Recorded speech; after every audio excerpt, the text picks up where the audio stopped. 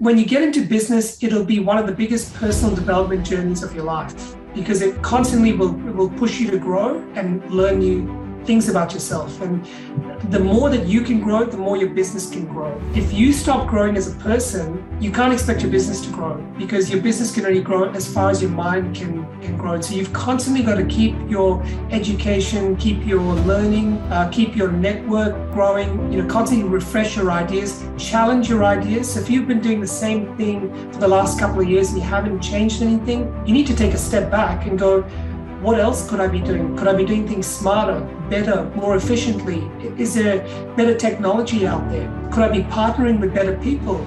Should I be changing my message a little bit? Has the world moved on and maybe I haven't? You want to constantly keep refreshed, keep on top of that education, get good mentors, get good people around you, build that community of like minded people. That's probably something learned.